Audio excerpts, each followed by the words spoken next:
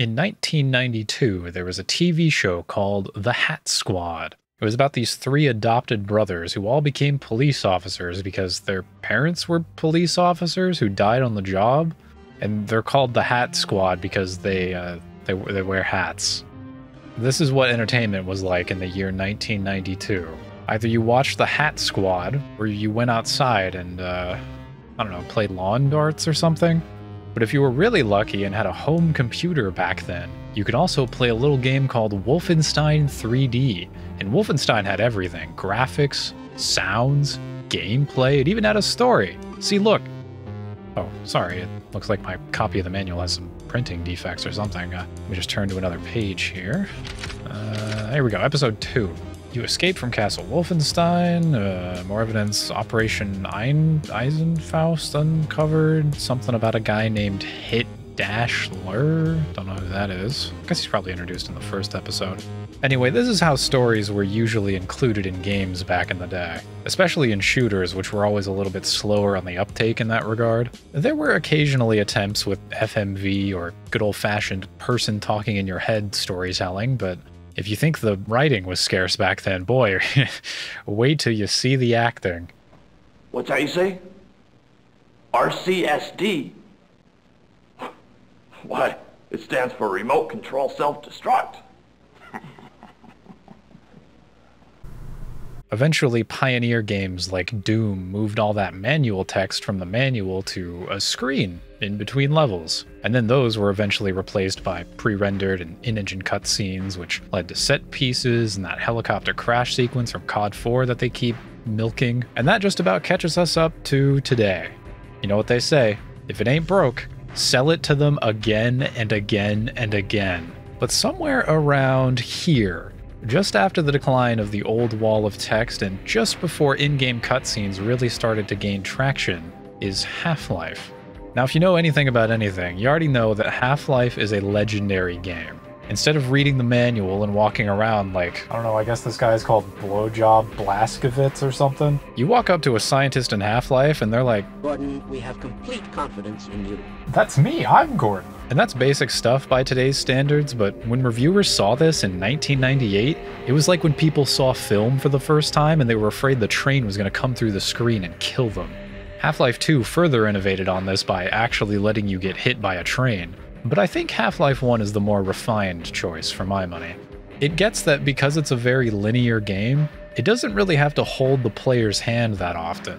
There's no here's your objective text in the UI, there's no waypoints or markers. There are scientists and security guards here and there who will get you up to speed, but they're placed just sparsely enough. Sparsely?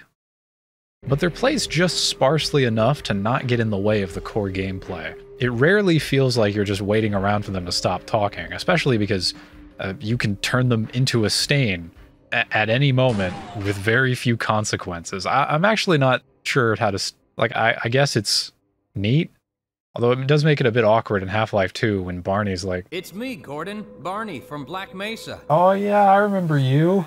I murdered 17 people who look exactly like you.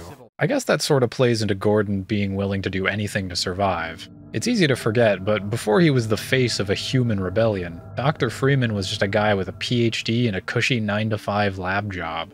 But lo and behold, on this particular day, schlopping the carrier into the analysis port meant that all the lab coats at Black Mesa would become the lab rats. Trapped in a labyrinth of their own design, where around every corner is a new test of wit, or will, or wow, those are some big meaty claws. I guess in a way it's kind of appropriate that the event that leads to the enslavement of humanity was an accident. And not that accidents are without blame, they don't just fall out of the sky, but it's hard to point the finger at anyone in particular. I mean, Freeman was just doing his regular job. The scientists conducting the experiment didn't even know where these weird samples came from. And while the management and the other arms of Black Mesa were definitely fucking around, I'm not sure anyone could have predicted to find out this hard. Obviously, it was a bad experiment, but does accidentally ushering forth a green apocalypse make them bad people? I'm, uh, that's for you, the gamer, to decide leave a comment below if you would murder your coworkers. it's also a bit of the old Frankenstein debacle at its core. In pursuit of a great advancement of science, The doctor summons forth a monster, and in doing so, finds a monster in himself. Just replace the single Dr. Frankenstein with a much larger science team, and replace the single monster with a diverse cast of goo spitters and green lightning goblins, who are also kind of enslaved. And suddenly, the ethics and morality become a lot harder to calculate. And the game never really forces you to think about this stuff either. At the end of the day, survival comes first. Instead of holding a carrot on a stick to motivate you forward, Half Life shoves you from behind. That light at the end of the tunnel? Yeah, that's a trip mine. Oh, you finally made it to the surface? Looks like it's raining outside. Want some supplies? Here's some Black Ops ninjas in full bodysuits doing cartwheels. By the way, can you tell this game was made in 1998? Now, if the whole game was just you getting whacked in the head repeatedly like this, it would get draining pretty quick. And that's why they're paced out with little puzzles for you to sort of relax with. Take a minute, hit some buttons, slide some boxes around. These days, when shooters want to give you a break, usually they just give you a cutscene, which makes you almost want to put your controller down if it's long enough. It's kind of a weird balance. I think Half Life hits it perfectly, though. Something about the quiet of the vent sections, that little stillness between waves of enemies. It can be a tense pause when you're low on health or ammo, or maybe a nice relief when you've got everything under control. Or at least when you think you've got everything under control. One of the most common themes in sci-fi is exploring what lies beyond the edge of our understanding. And while Half-Life is far from the first to answer that question with aliens, I think the way that it does it brings a really unique perspective. Black Mesa didn't set out to explore the deep reaches of space. They weren't even looking for aliens in the first place. They do physics. They study lasers. Yeah, they make rockets and a bit of weaponry here and there, but they aren't SETI. They accidentally crossed into Xen like a tripwire.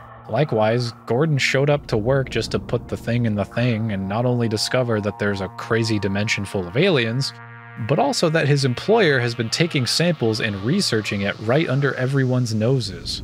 All this crazy shit seems so far away and difficult to reach, but once you reach it, it feels like it's always been lurking close by, just waiting to be discovered.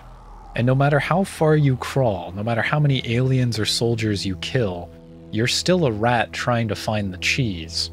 There's this entire part of reality that even if you see, even if you touch, you can never fully grasp. And that's the case from the very beginning all the way to the end.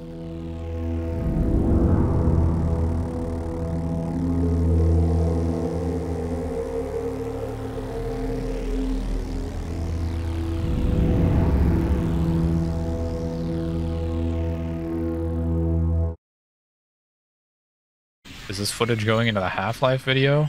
Yes, but only this clip of me saying that right now.